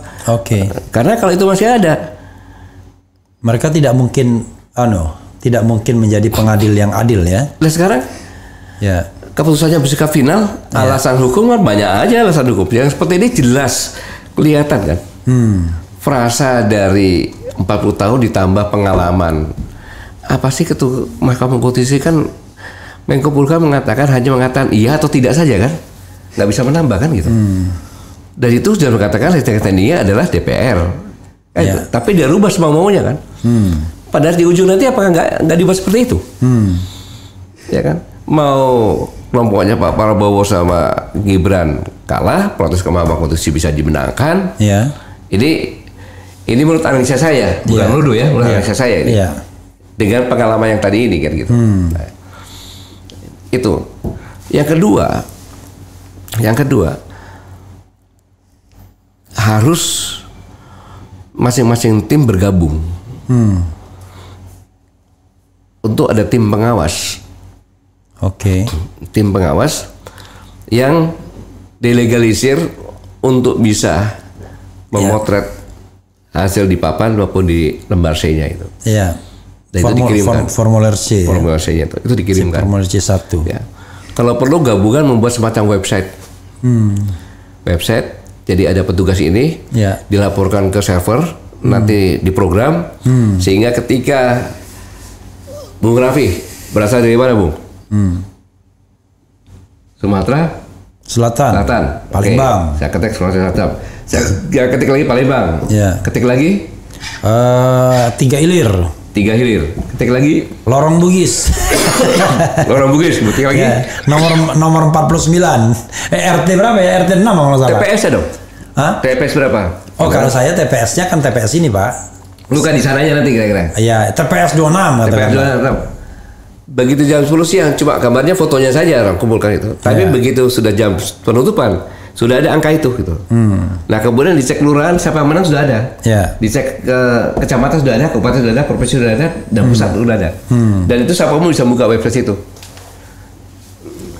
Kalau tidak, Bu Raffi, saya bikin rekornya banyak-banyak kan, Ya. rekornya banyak-banyak, saya atur, ujung-ujungnya beda-beda tipis saja, Ya. sudah ketok selesai. Iya, memang orang selalu mengatakan begitu ya. Dan bahkan pemilu pilpres yang lalu begitu kata orang sih ya, kata orang. Eh, dan apa yang dikatakan Pak Gatot itu sudah dibuat, diupayakan, bahkan mereka sudah membuat eh, desain eh, IT yang Iya. memang bisa menentukan bahwa hasil pilpres itu akan bisa kita dapatkan satu jam atau dua jam setelah Iya. eh, pemilihan terakhir di waktu Indonesia bagian Iya, barat. KPU itu ya, dia Iya. udah bisa lihat. Tapi umumkannya dua minggu lagi kan? Bukan, bukan KPU, tapi versi eh, Amin lah yang saya tahu, versi Iya. Amin ya. Mereka menyiapkan itu karena mereka yang paling Iya. khawatir dicurangi. Eh, tapi apa pun itu, orang mengatakan tidak bisa begitu, perlu juga jaringan yang kuat. Makanya dalam konteks itu seperti Syahgana mengatakan perlu orang dong seperti Pak Gatot yang punya ibaratnya basis teritorial. Kan kita frankly speaking lah yang bisa memiliki kekuatan koersif untuk menentukan itu kan tiga institusi saja TNI, eh dua institusi TNI dan Polri. Ini mohon maaf Pak ya. Kemudian tambah BIN, entah BIN-nya ke TNI atau BIN-nya ke eh, ke Polri kan begitu. Dan sudah rahasia umum kan eh, ada ada yang seperti itu. Nah cuma sekarang bisa terbelah mereka karena ternyata istana nggak kompak pecah dua. Tapi apa pun itu kan tetap saja kita tidak bisa. tidak terpecah. Oh TNI tidak Saya terpecah. yakinkan TNI tidak terpecah. Siapa pun pemimpinnya, Ya. TNI ya tidak tidak tidak terpecah karena prajurit-prajurit itu orang yang punya rasa, ya kan, Ya. yang punya akal dan punya rasa. Gitu. Tapi bagaimana menjamin eh, netralitas mereka, Pak? Karena itu yang paling penting kan sebenarnya. Di lapangan tuh bisa saja ada pengarah-pengarahan, bahkan ada ya udahlah. Gini, yang paling gampang ya. Seorang mantan Kapolres di satu tempat pernah ngobrol saya sama saya. Begini, eh, dia bilang dia membantah kalau uh, polisi itu akan uh, mempengaruhi uh, suara dan lain- mana bisa katanya. Gimana caranya kita? Oke. Tapi ada poin yang dia sampaikan kepada saya. Nanti pada saatnya kita akan lihat ke arah mana eh, polisi itu eh, dia akan mendukung. Kalau dia ke arah A, nanti akan dibikin satgas-satgas katanya. Nah di satgas-satgas itu, eh, misalnya gini, dia contohkan dua calon yang dulu. Tugas kita adalah kita ngintipin anu orang-orang yang bawa duit salah Hmm. satunya misalnya. Kalau dari tim yang kita dukung, kita Biarin. biarin. Hmm. Tapi kalau dari tim yang kita tidak dukung, kita tangkap itu orang atau kita marking tempatnya. Kalau dia misalnya ke hotel, hotelnya kita jagain Hmm. biar uangnya nggak kebagi. Kan podo aja nih Pak ini. ini Ya. juga ini dan itu yang ngomong tuh mantan Kapolres sendiri guys Ya, saya. Tetapi kan itu yang yang dilakukan itu adalah suatu kegiatan yang manipolitik kan sebenarnya kan itu. Ya paling tidak kalaupun tidak money politik, dia membiarkan orang money politik, Ya. membiarkan eh, tim yang dia dukung, Ya. lalu dia mencegah Ya. orang lain yang bawa ke karung Oke lah, nggak apa-apa lah. Tapi saya Ya. yakin TNI tidak seperti itu. Oke. TNI tidak seperti itu. TNI sudah belajar banyak. Dengar dong Dan- ini dari senior nih Pak, Pak Yudo Margono. Ya. Pak Yudo Oh, kan. Pak, tapi Pak Yudo pensiun loh. Ya tetapi kan begini. Pak Yudo membuat tema Ya, ulang tahun TNI. ya, Banyak orang protes tuh, kenapa TNI patriot kan ya? Hmm. Patriot yang menjaga eh, demokrasi. Ya. Kan gitu. Harusnya kan menjaga NKRI. Ya. Tapi saya pikir itu tidak salah karena saat sekarang ini yang paling penting adalah salah menjaga demokrasi hilang juga NKRI kan. gitu. oke. gitu. Maka dari pesan ini saya kan udah udah sampai ke, ke- ketika walaupun diganti pun Ya. kan. Kalau nanti Panglima TNI-nya akan memerintahkan untuk tidak netral, Ya, ya kan, untuk tidak netral. Walaupun diperintah di atas netral, pasti Prajurit tidak akan nurutin. oke. Karena satu sudah melanggar, Hmm, sudah melanggar etika, sabta marga, sumpah prajurit. gitu.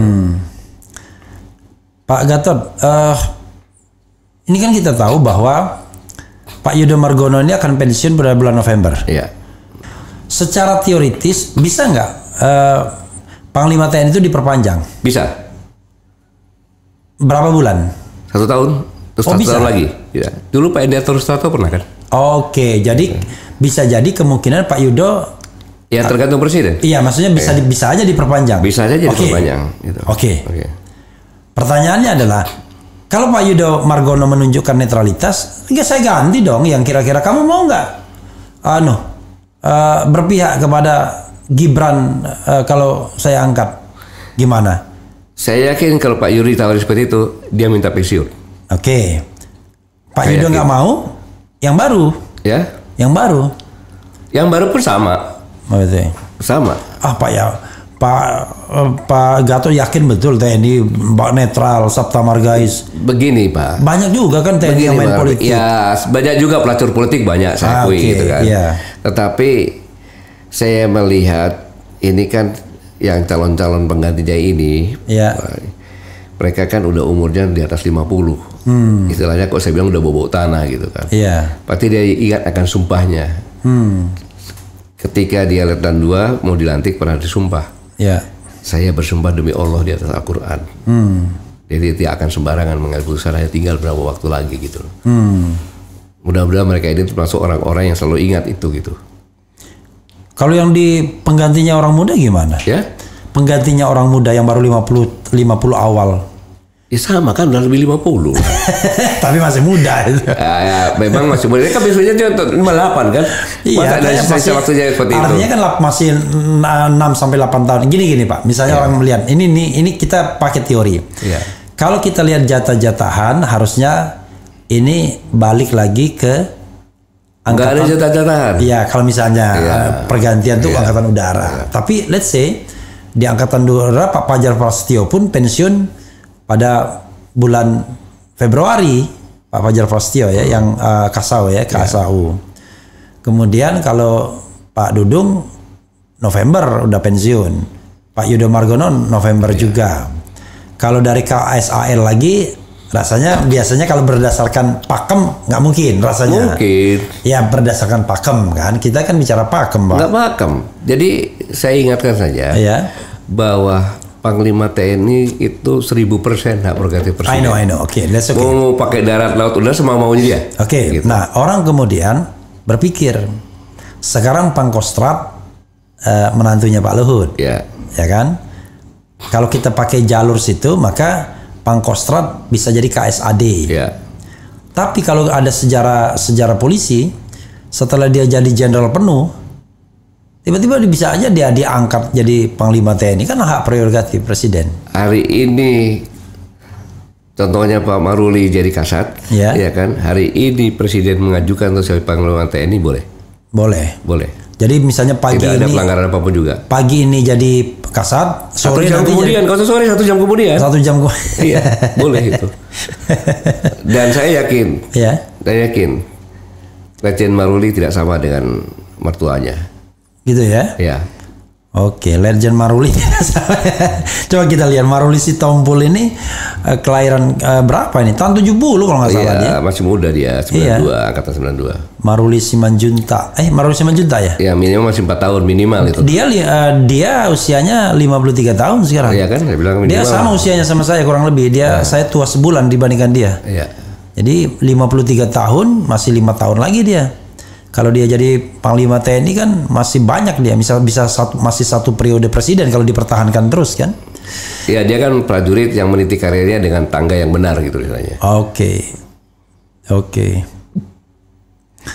Pak Gatot, apalagi yang mau disampaikan sebelum eh, saya memberikan kesempatan closing statement? Jangan sampai nanti Pak Gatot pulang ke sini. Waduh, saya belum menyampaikan itu.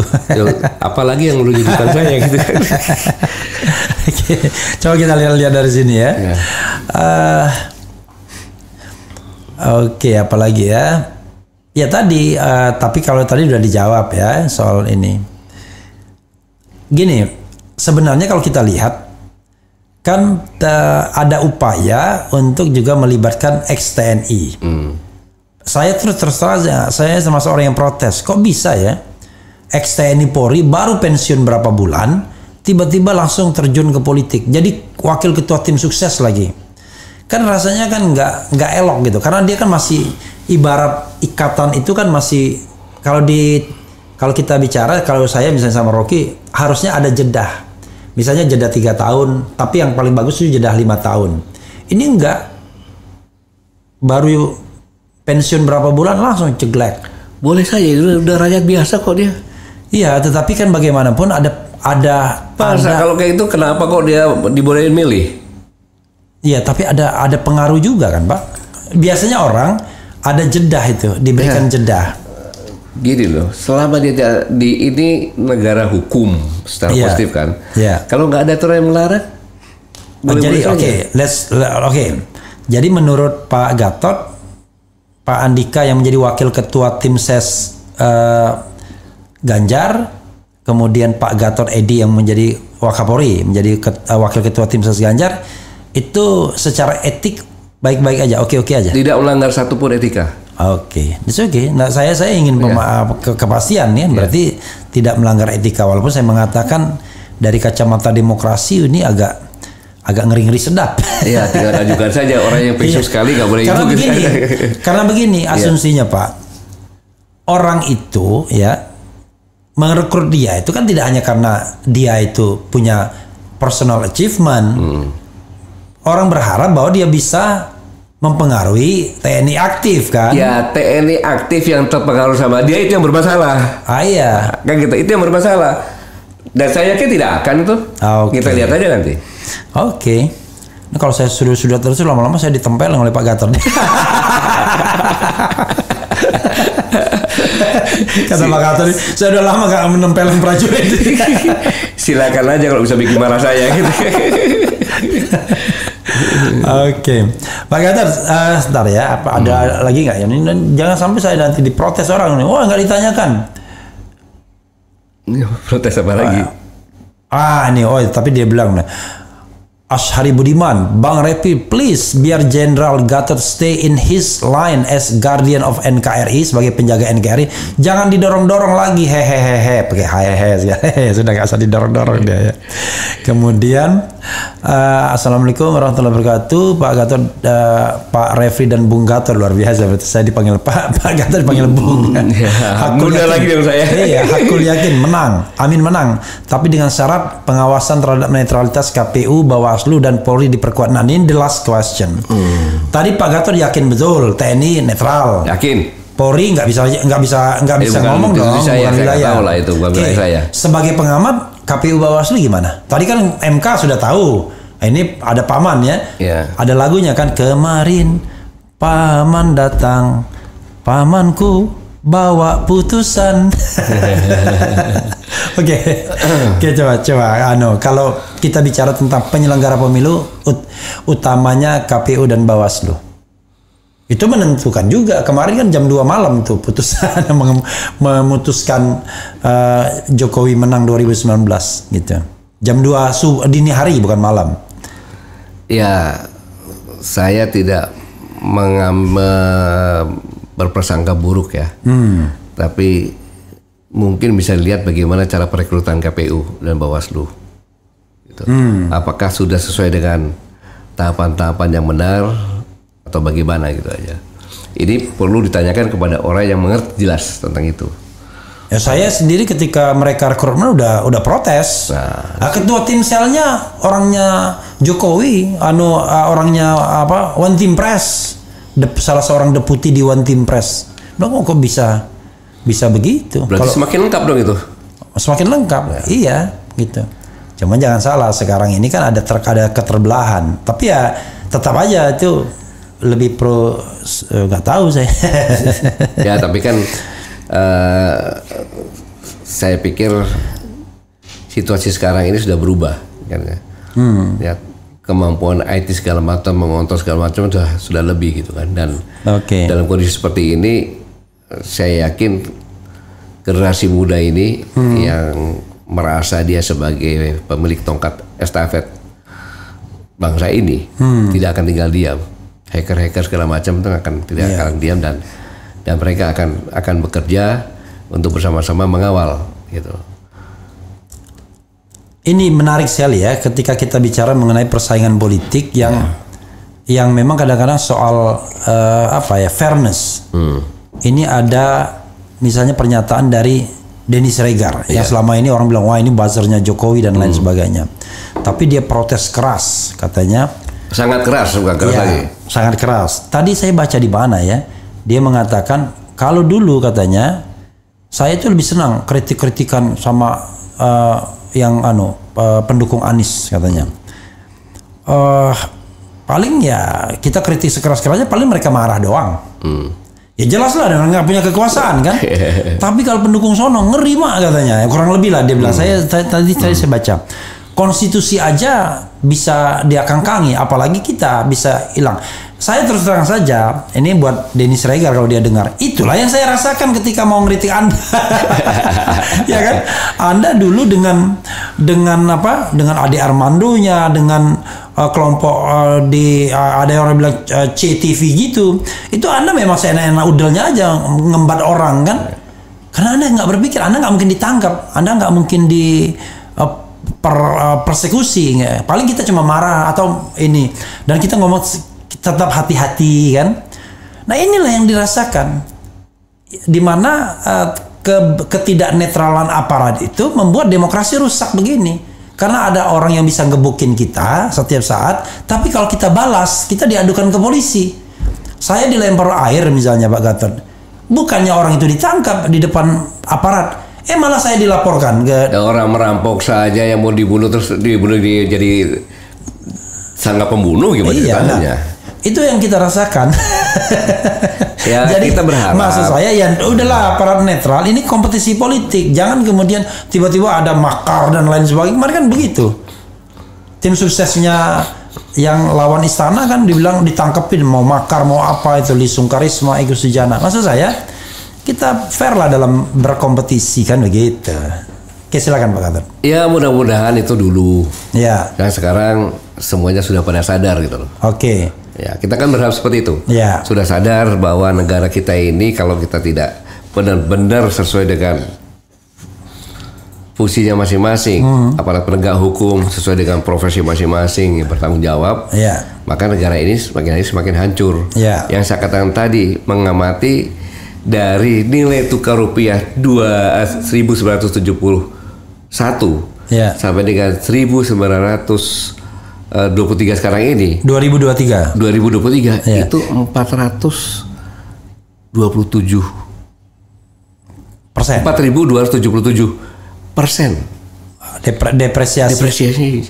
Iya. Kita perlu orang yang bisa memanage pemerintahan ini, yang bisa mengurangi ini. Kalau kan tidak, hutang kita yang sekarang 7.000 kalau kita hanya bisa membayar pokok-pokoknya ya selama 10 tahun, kita hitung tadi kan Iya. 82 persen. Jadi kalikan 8 kali. Iya.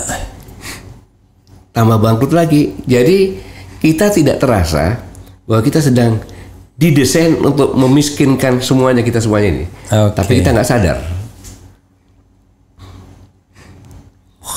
Yusril pasang badan, siap jadi penjaga hukum Prabowo Gibran. Gimana mau penjaga hukum? Nggak usah jaga, udah pegang aja, pamannya selesai. Bagaimana mau jaga penjaga hukum? Dia uh, putusannya meragukan aja dia tidak kritik gimana?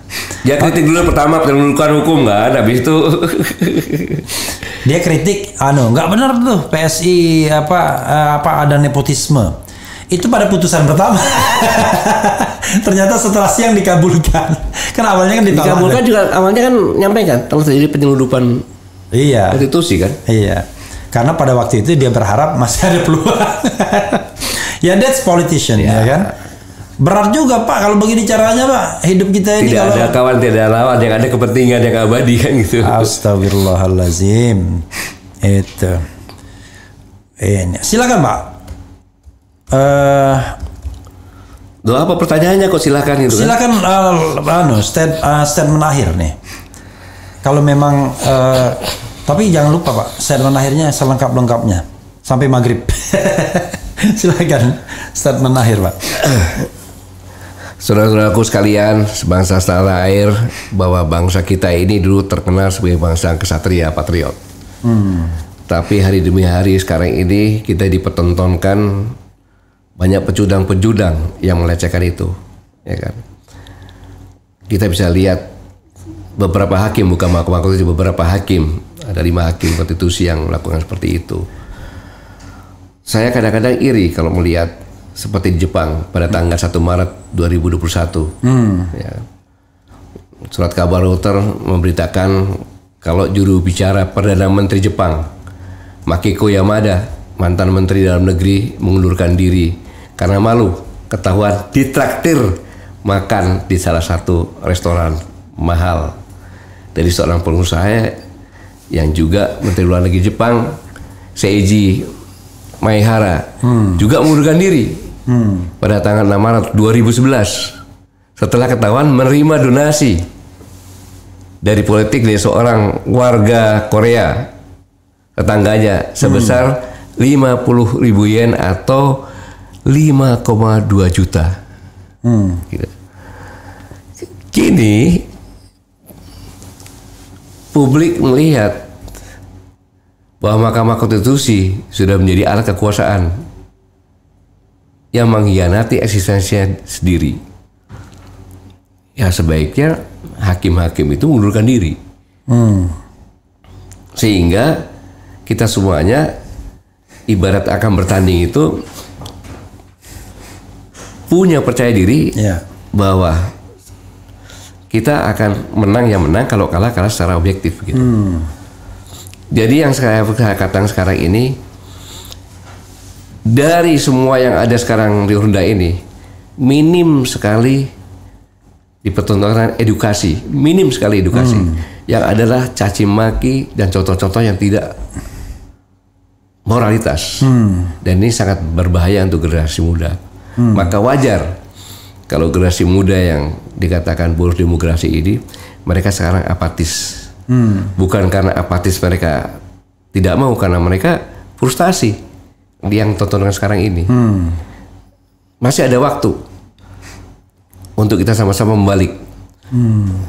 Karena bagaimanapun juga sangat disayangkan kalau generasi muda yang jumlahnya ya 54% lebih ini mereka tidak ikut dalam pesta demokrasi ini. Karena mereka mengatakan ini bukan pesta. Ini pesta kotor. Apa yang katakan pesta pesta lebih banyak pelacurnya, Ya. pelacur politik dan lain sebagainya. Iya, iya. Ini pesan yang bisa saya sampaikan, Bu Raffi. Ada orang marah ya silahkan saja lah. Oke. Tapi ini harus saya sampaikan agar generasi muda kita ini bisa mendapatkan edukasi dan situasi yang seperti sekarang ini. Ya, oke. Situasinya kan tidak tidak menguntungkan. Mereka tidak memberikan contoh yang baik ya. Bagaimana kekuasaan itu seolah-olah segalanya. Menjadi pejabat itu seolah-olah segalanya. Atau jangan-jangan kesempatan untuk mendapatkan harta dengan jabatan itu segalanya. Satu Tapi saya imbauan- katakan, Ya. Bahwa negara ini diobok-obok oleh satu keluarga. Hmm. Oke. Lalu imbauan untuk generasi muda ya masa golput pak? Enggak dong. Walaupun misalnya walaupun kondisinya seperti itu, bagaimana imbauan terhadap nanti Iya. pilpres? Generasi muda, kalau ada golput diam saja, justru anda lah yang akan menikmati kediaman ini dengan hancurnya bangsa ini. Iya. Maka berpikirlah dengan jernih, mengamati dengan jernih, Iya. dengan penuh keyakinan. Datanglah nanti di TPS, pilihlah sesuai dengan hati nuraninya. Jangan dipengaruhi oleh apa pun juga. Anda punya pengetahuan yang luar biasa, bisa mengecek, cek and dicek semuanya. Pilihlah yang terbaik, Iya. yang punya harapan ke Oke. Oke, saudara sekalian, teh, memang Pak Gatot sudah dari awal mengatakan sampai sekarang masih di ring. Entah nanti pertandingan sudah berlangsung, beliau tiba-tiba uh, ke tengah ring, tapi tetap nonton juga. Kalau Pak Bapak ke tengah ring tetap nonton, nanti digebukin orang. kena lemparan paling tidak kena lemparannya. Tapi apa pun uh, apa sikap seseorang harus kita hargai ya dan kita lihat hari-hari ke depan. Tapi Biarlah harapannya saya bebas berbicara. ya Kalau saya berbicara menyerang Pak Anies bukan berarti saya tempatnya Pak Prabowo, Ya. menyerang Pak Prabowo bukan berarti tempatnya Pak Ganjar, menyerang Pak Ganjar bukan berarti tempatnya Pak Anies. Jadi eh, saya punya keleluasaan untuk untuk berbicara gitu. Oke, ya mudah-mudahan hal ini menjadi pembelajaran bagi kita semua. Dan yang jelas kalau ditanyakan ke Refli Harun, ya pilihlah Amin. Tapi ditanyakan ke Pak Gatot, pilihlah yang baik. Sesuai dengan hati nurani. Sesuai dengan hati Tidak nurani, dipengaruhi ya. oleh uang dan apa pun juga. Nah, karena bagi Refli Harun yang baik itu ya Amin. ya itu saja saudara sekalian. Wassalamualaikum warahmatullahi wabarakatuh. Waalaikumsalam warahmatullahi wabarakatuh. Cadas. Cadas.